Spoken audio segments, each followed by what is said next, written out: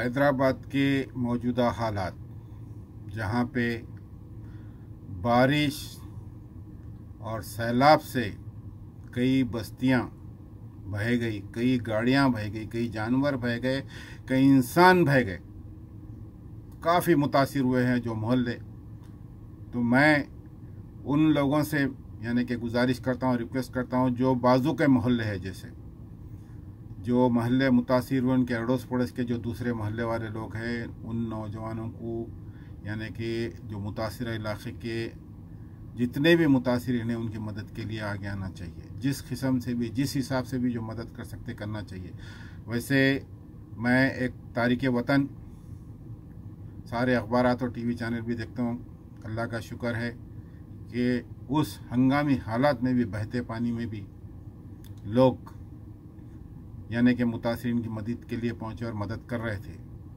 उनकी खिदमत काबिल सतश है। वैसे आपके मुकामी लीडर, हजरात और जो भी वॉल्टियर्स यानी कि पहुँचे और आपकी नुमाइंदगी करे हुकूमत से और खसूस यानी कि हमारे चीफ मिनिस्टर साहब भी फौरी, यानी कि मौजूदा हालात को देखते हुए इमदाद का ऐलान कर दिया और इमदाद के जो भी थे चक्स वगैरह जो महलूकी है, उन तक पहुँच गया अब दूसरे चेक्स भी जो है, यानी कि तकसीम हो रहे हैं, बड़ी खुशी की बात है।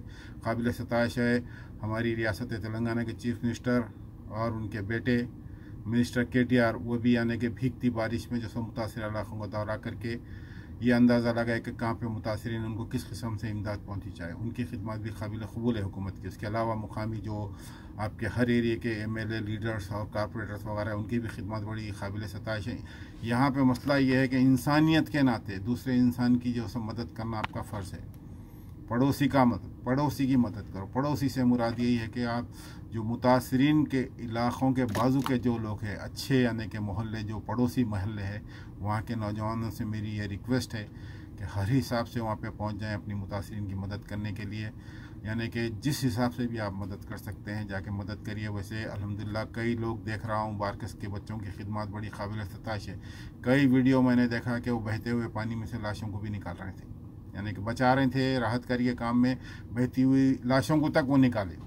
तो यानी कि उनकी खिदमत, सारों की खिदमत जो इस, यानी कि इस घड़ी में, मुश्किल की घड़ी में मुतासरीन की मदद के लिए जो पहुँचे और यानी कि अमली अभी भी जो यानी कि वॉल्टियरिंग वर्क कर रहे हैं, अल्लाह ताला उनकी खिदमत को कबूल फरमाए।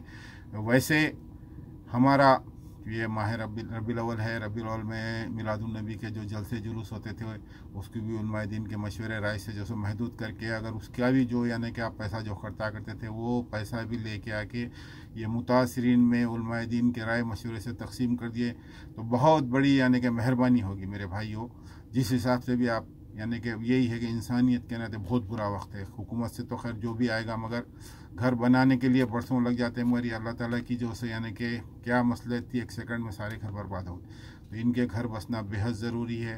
रोज़गार से महरूम हो गए, हर हिसाब से महरूम हो गए जो मुतासर तो उनकी मदद करना आपका, हमारा सबका फरीज़ा है। जिस हिसाब से भी आप मदद कर सकते हैं। ये नहीं कि जो सो, जितनी भी आपकी अमली जाके वॉल्टियरिंग वर्क करेंगे तो वही बहुत बड़ी है। और यानी कि जिस हिसाब से उनकी मदद कर सकते हैं, आपका हमारा सारे खसूस जो तारकिन वतन भी है, दूसरे ममालिक में हैं, हैदराबादी, उनका भी फरीज़ा है कि जो सो, इस जो रिलीफ के काम में जो सो बढ़ चढ़ के हिस्सा ले और जिस तरीके से भी यानी कि मदद कर सकते मदद पहुँचाए अपने मुतासरीन तक।